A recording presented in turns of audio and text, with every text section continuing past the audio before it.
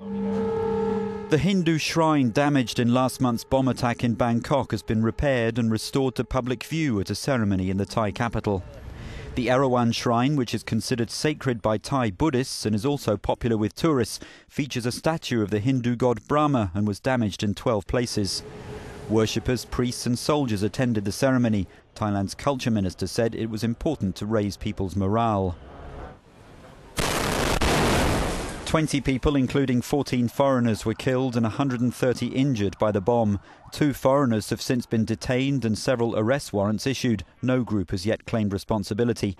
Police say a man arrested on Wednesday near the Cambodian border has admitted being close to the scene of the blast. Fingerprints are said to link him to the suspected bomber's room.